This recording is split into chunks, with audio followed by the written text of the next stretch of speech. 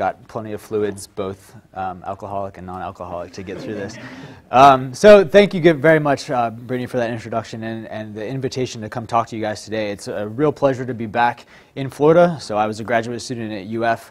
Um, took a slight departure to the West Coast, um, see California for a bit, uh, but it's great to be back in Florida and St. Pete um, in, a, in a marine community. Uh, at Stanford, I was in the College of Medicine and the Department of Genetics, where everybody else was stud- studying human genetics, and we were the kind of the black sheep doing coral bacterial symbioses. Um, so it's great to be in this environment again. So I want to talk to you today about uh, some brief stories looking about corals, and you'll see sea anemones uh, and their microbial symbionts, and kind of taking a model systems approach to these dynamic interactions that are going on uh, in these systems and how they all come together. So of course I have to set this in the context that we are not just animals, right? We are animals with our associated microbes, both the eukaryotes, the prokaryotes, the viruses, the fungi, the archaea, uh, interactions and evolution of all of these systems together, and of course our interaction with our surrounding environment. And so the holobiont that I've been focusing the last 10 to 14 years of my life, I guess, on is the coral holobiont. And of course, we talk uh, specifically about the coral itself, the animal polyp with their tentacles that they use for particle suspension feeding, and the dinoflagellate algae, the symbiodinium, that live inside the gastrodermal cells of the host, produce copious amounts of photosynthesis that then is shunted to the, the coral animal, used for its own metabolism. Uh, in response, the symbiodinium is getting a nice house um, to, to live in, as well as getting nutrients that are coming from the animal waste. So this partnership has been well classified, well studied, um, and we're starting to finally understand kind of the dynamic interaction between these parts, but of course we can't ignore the fact that, and I'm sorry I'm not displaying viruses here for Maya's group, um, but of course they are associated microbes, the bacteria, the fungi, the viruses, that are uh, definitely playing a role in this, in this holobiont and this symbiotic interaction. Um, but it's really been in the last probably 15 or so years that we've really become to appreciate the role of these microbes in this kind of holobiont and holobionts uh, within the whole realm of biology now. And so I got in, uh, interested in this as I was starting graduate school and, and not knowing much about corals other than I love to go scuba diving on them. Um, and then really kind of got into this idea that the bacteria are actually doing something cool. Um, and so I've, I've never really looked back. So of course the, the ecosystem that I, I, I focused on are, are, the coral reefs. Obviously aesthetically beautiful, critically important ecosystems for coastal management, uh, coastline protection, food sources. This provides protein for about a million people, or a billion people, uh, globally at least um, but are also extremely fragile ecosystems as we've uh, come to realize in, in, at least the last year or year and a half when talking about the global El Nino event, um, the massive bleaching that's been plaguing the, the Western Pacific. Um, and so we can go from that pristine coral reef environment to something that looks more like this. As corals experience various stressors, they can break down that symbiosis between the coral and those uh, symbiotic algae. Uh, process called coral bleaching. And so here we see the denuded coral skeleton. Um, the corals themselves are basically translucent, so we see the white calcium carbonate skeleton when we're devoid of the algal symbionts. Now, if the stress is, is short enough, corals can actually recover. Either they won't bleach to entirety and they may have a few symbiodinium in their tissues re remaining, and if conditions return back to favorable conditions, those symbiodinium can repopulate or the coral may be able to acquire new symbionts from the environment and, and rebound. The problem being, as the case with the El Nino event, we've got these massive warm waters that are sitting over these reefs for weeks at a time, um, stressing the corals out, and eventually, if they're without their symbionts for too long, they can succumb to mortality, and you'll get complete decimation of, of reefs. Of course, this is not just based on the breakdown of that two-partner symbiosis, but we know now that microbes definitely have the ability to alter their host physiology. And so just taking a, a, a detour into the realm of coral diseases, um, we've got multiple coral diseases. So this is whitepox infecting acroporid corals that's bacterially derived. We've got white syndrome and um, Vibrio-induced bleaching by Vibrio coralliilyticus and Vibrio shiloi pathogens. We've got black band disease, which has been ubiquitous across the Caribbean. Um, it's a consortia of bacteria and cyanobacteria that make their way across the coral colony as this black mat eating away at the, at the brown um, coral tissue here, leaving behind the skeleton. We've got white bands uh, diseases that have been also plaguing acroporid corals, uh, white plague, and then also aspergillosis of coral sea fans, which is a, a soil-based fungus that's made its way into the marine environment and started causing disease in these Gorgonian sea fans. And so it's clear that both these microbes both have a potential to maybe benefit their hosts and structure the overall uh, composition of the holobiont, but also we can get uh, instances where if the corals are already compromised, we may have um, potential for altering the physiology um, to the detriment as well. And so some of the questions that I've been asking over the years have been, how do native coral-associated microbes help to influence the physiology of the holobiont? So what are the members that are normally associated with this healthy holobiont? What are they and what are they doing? And how are they maybe altering um, the physiology of that holobiont? So what species are present? What are they doing? And then can they and do they protect the host from invading opportunistic pathogens. So some of these pathogens that were causing those diseases that I just put up are not um, normal pathogens or not always pathogenic, so they're not obligate pathogens. They're bacteria that are opportunistic, and if the opportunity arises and they can establish a niche, they will outcompete the native microflora and be able to, to start to cause a disease. And so what are the role of these coral-associated native bacteria uh, in protecting the, the host from these invasions? And then towards uh, kind of the beginning of my PhD, uh, got in this idea of can we use model systems to answer some of these questions. So I was a coral biologist interested in studying corals, but I was taking a more uh, pathogenic coral disease approach to some of my studies. Uh, and that meant I had to select corals from the reef, bring them back to the lab, and dump pathogenic bacteria on them, killing them.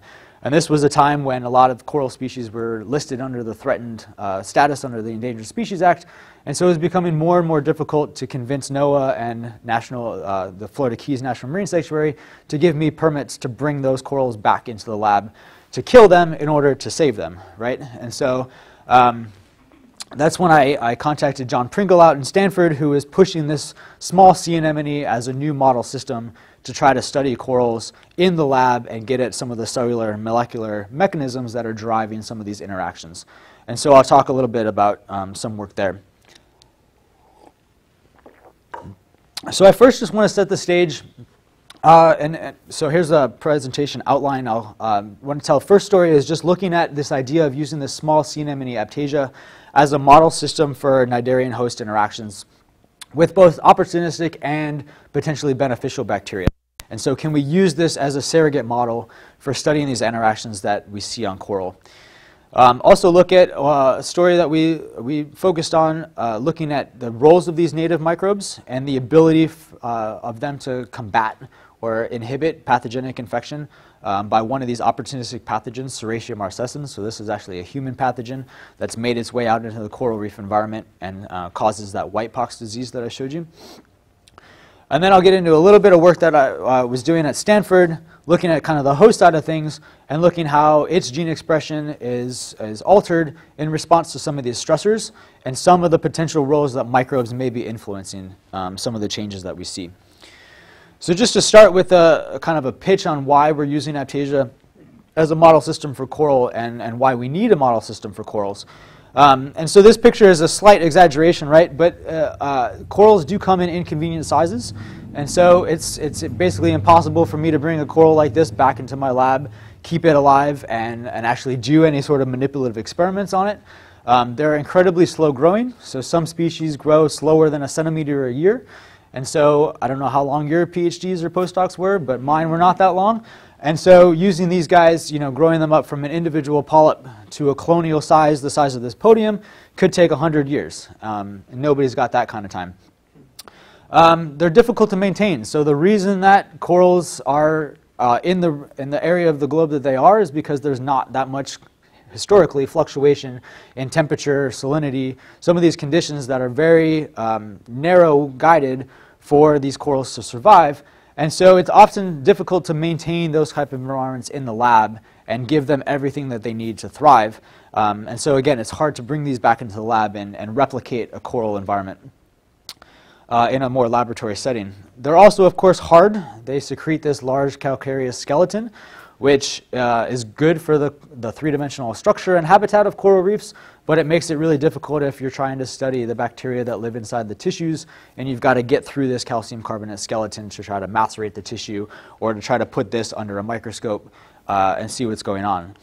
And then, of course, for reasons that I already alluded to, now corals are protected. So as we're experiencing more and more stress, governments are putting regulation and restrictions on the sampling that is possible for coral.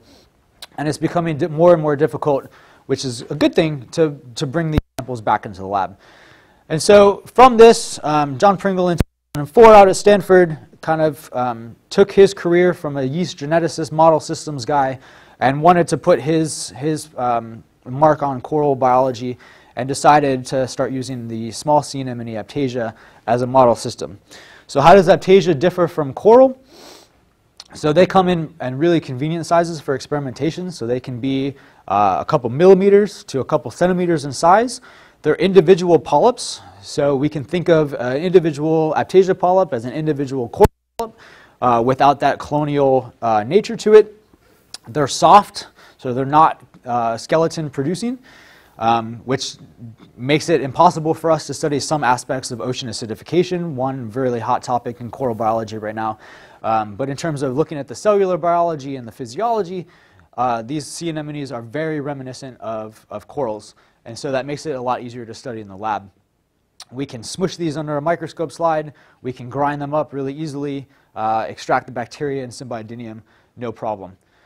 Uh, they produce asexually, just as corals, so we can get uh, clonal derived lines from a single polyp, and now we have these clonal lines of thousands of individuals that are all um, genetically homogeneous, and so we can ask questions um, in these individuals while maintaining the same genotype. Very difficult to do in natural populations of coral. We've also now ge uh, generated a lot of transcriptomic and now genomic resources, so the genome was published just last year.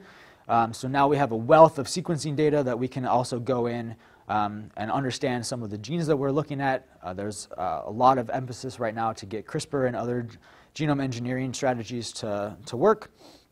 Uh, another great feature is that these guys are symbiotic with the same types of Symbiodinium uh, as we see in coral.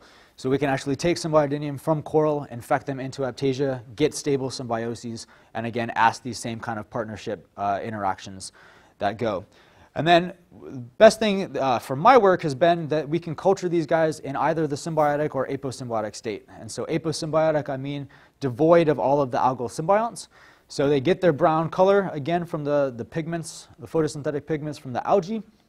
We can cure them of all of their symbionts, um, not bacteria yet, so I'll just put that out there. They're not germ-free. So they do contain their bacteria, but we can remove all of the symbiodinium and then that allows us to take some of these novel Symbiodinium strains, add them back into that aposymbiotic state, form novel combinations, and then ask questions about um, their physiology.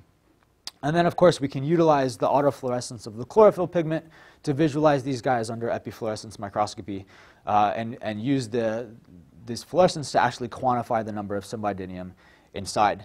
Um, you'll see the, the endogenous green fluorescence here. We're not sure, we're pretty sure it's not GFP based on the genome sequence now.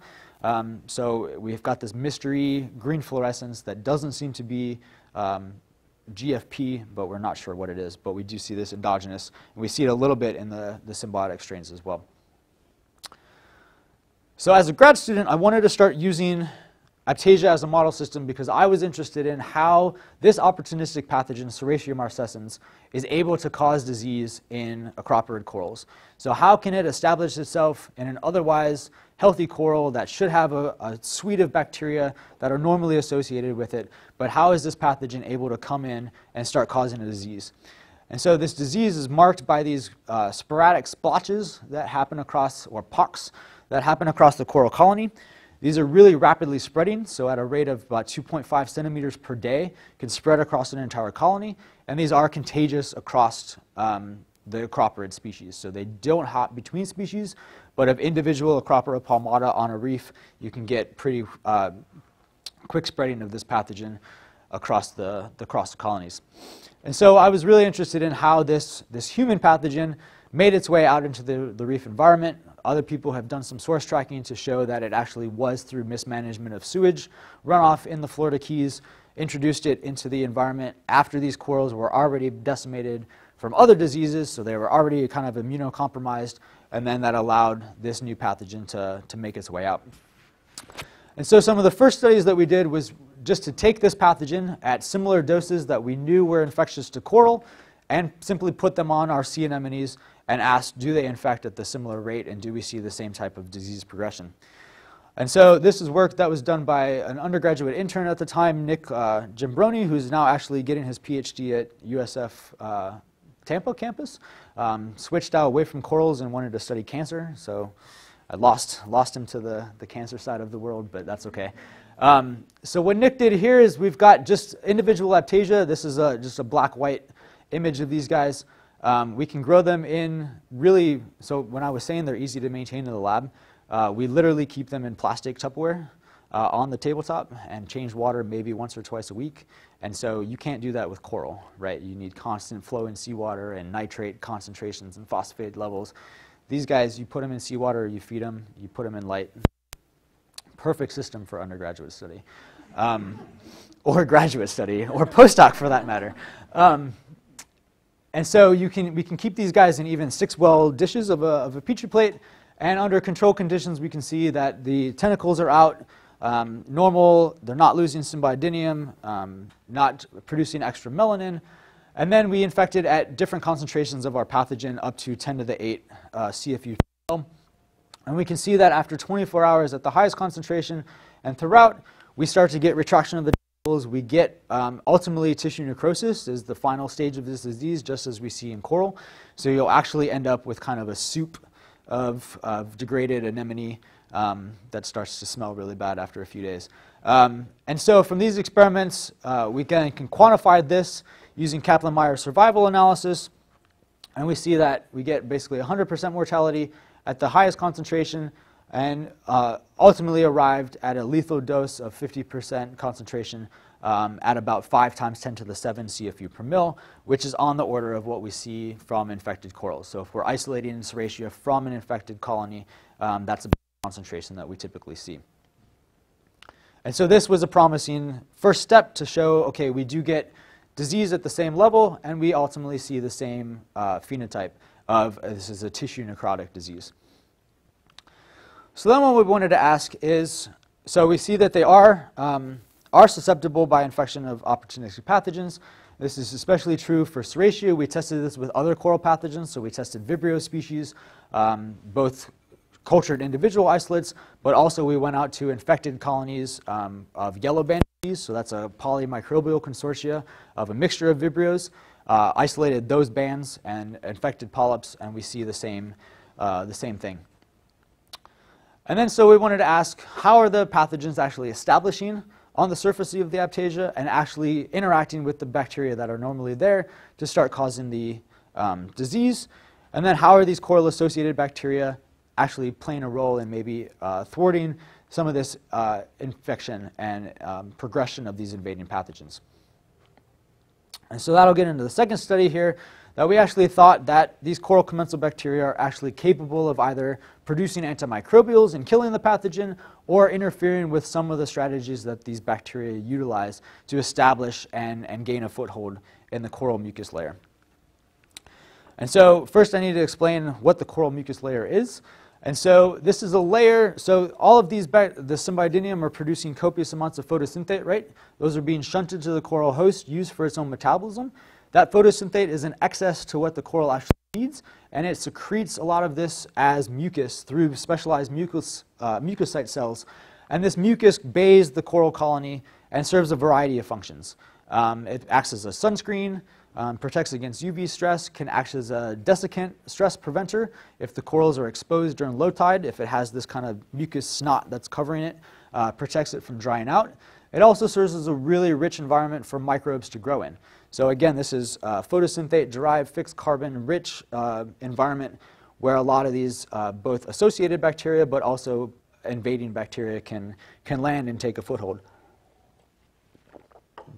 And so to study, to either isolate bacteria from this mucus layer or to bring this mucus layer back and use it as a growth medium for some of these bacteria, we can go out. Uh, this is actually a picture of me in 2009 on a research cruise with Maya um, to the Dry Tortugas. Uh, Maya was actually the PI on that cruise, but wasn't able to go because she was sick. Um, so I got to sn snag a ride on the Bellows for a week, which was awesome. Um, so we actually just go down with a, a, syringe, we agitate the surface of the coral, that gets them to start sloughing off this, it's literally snot, um, which I've been producing a lot of this week. Um, and you just, you suck it up into your syringe, you bring it back, um, stick it in the filter, um, and then you can remove all the microbes from it, and now you've got a rich carbon source that can be used as a growth substrate, which is what I used it for, to look at interactions uh, in, in vitro between these opportunistic pathogens and bacteria that we isolated from normal health, healthy colonies. And so I took an enzymatic approach first looking at the metabolic activity of our opportunistic pathogen, Serratia marcescens, and its ability to utilize some of the glycosides, uh, uh, in this mucus um, and looking at enzymatic activity. So this is just a color-based uh, reaction, enzymatic reaction, looking at average Miller units here. And so if we grow the bacteria either on marine broth or in coral mucus, either at 25 or 30 degrees, we see huge amounts of activity in terms of glycosidase activity uh, in this pathogen grown on coral mucus. And so this was our first indication that, yes, this pathogen is actually utilizing components of the coral mucus and probably maybe more efficiently than some of the bacteria that are natively associated um, with the coral. And so I'm not going to go into a lot of, of these kind of studies because these have all been published, but this was basically our first indication that they are using glycosides in the coral mucus, and we actually show that they're actually using them at different temporal time frames than some of the bacteria normally associated with it. So this is our hypothesis, is that this is a way that they have a, a, the ability to gain that ecological foothold by utilizing some of these sugars when some of the other bacteria are not, able to get in, utilize them faster, and then start uh, progressing uh, towards a disease state. But then, of course, we know that there are many, many different species of bacteria associated with the surface of coral. And we isolated many of these and had them in cultured libraries. And so we wanted to see how are they interacting with this pathogen.